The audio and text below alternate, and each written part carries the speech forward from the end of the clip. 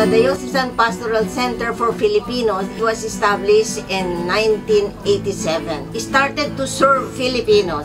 But when the Indonesians, the Indians, the Sri Lankans, and the Vietnamese arrived here in Hong Kong, then we served all the migrant workers. This center was provided by the, the Catholic Diocese of Hong Kong to accommodate uh, migrant workers who are on their day off. We have different groups here from Tuesday to Sunday. So we have 10 groups uh, being assisted and welcomed here. So we have Mass from Tuesday also to Sunday to cater for their spiritual needs. But of course, we provide them formation and education. So we call it integral formation. That means not only spiritual, but also some educational, some value formation. Also there with regards to their health and also for their economic needs. Okay, and of course counseling is there. We also have the shelter, which is a very good service for the distressed migrant workers, those who are term terminated, those who are sick and then recovering, the, the victims of trafficking. And usually other consulates also refer here the victims of uh, trafficking. So the consuls just would refer them to us. That shelter serves also those who have cases. The police, the labor case, immigration case, or court cases. Actually, at the moment, we have many cases of uh, victims of money laundering.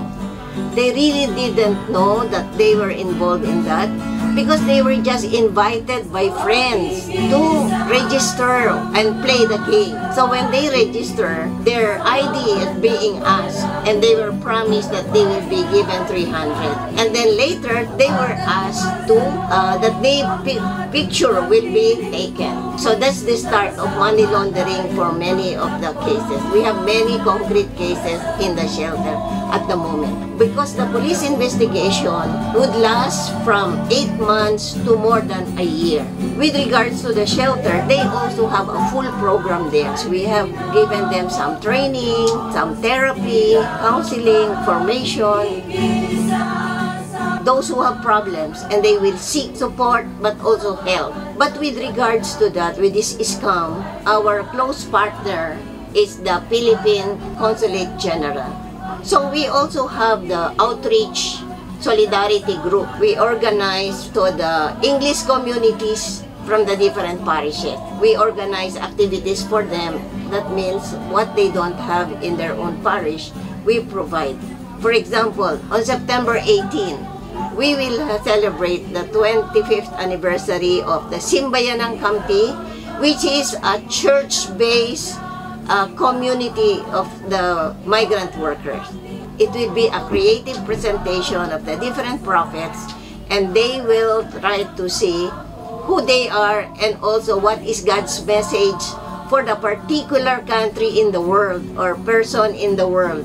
And then of course we organize the Migrants Day and Refugee Day celebration on October 11.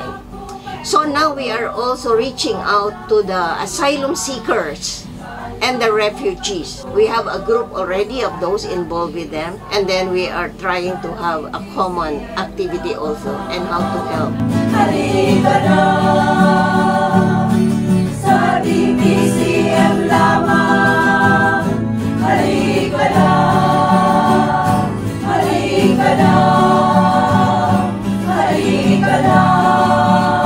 So we serve anybody who comes here. They are welcome.